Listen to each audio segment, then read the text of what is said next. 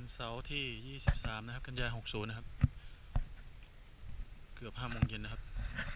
อยู่ที่อุทยานแห่งชาติเขากระจิกูดนะครับ จุดน้ำตกกระทิงนะครับนั่นนะครับ เห็นน้ำตกไกลๆนะครับ ไหลอยู่ข้างบนนะครับ สูง มากางเต็นท์นอนนะครับ คืนที่สองแล้วครับ นอนเต็นท์เล่นน้ำกันนะครับ แต่ว่าวันนี้ไปเล่นที่น้ำตกคลองไพบูลมานะครับ ฝนตกนะครับ เจ้าที่ก็เลยอนุญาตให้กางเต็นท์ในศาลาได้นะครับเนี่ยครับศาลาเนี่ยครับ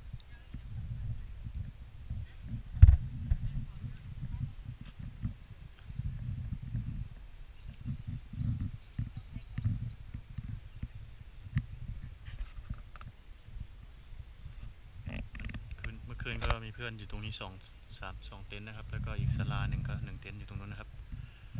วันนี้ก็มีอีกครับสองเต็นท์ใหม่นะครับ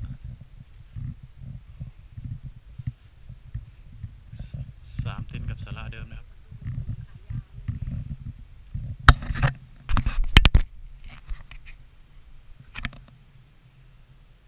เจอ กันใหม่คลิปหน้านะครับถ่ายบรรยากาศยามเย็นให้ดูนะครับ